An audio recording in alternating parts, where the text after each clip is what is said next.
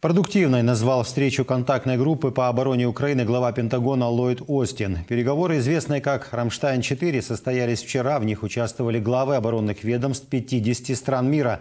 По словам американского министра обороны, многие государства выступили с новыми предложениями о том, как можно усилить украинскую армию – Помимо передачи вооружения, некоторые союзники и партнеры обучают украинских военных. Другие страны восстанавливают технику, а кто-то поставляет запчасти и дополнительные боеприпасы. Остин также раскритиковал заявление министра иностранных дел России Сергея Лаврова, который сообщил, что Москва расширяет свои стратегические цели в Украине и больше не ограничивается захватом Донецкой и Луганской областей. И мы это знали, не подозревали, а знали. Наши союзники и партнеры знали, что у него амбиции больше, чем захватить Донбасс. И Лавров только что подтвердил это.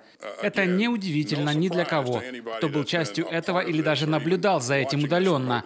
Может быть, это сюрприз для россиян, которым Путин все это время врал.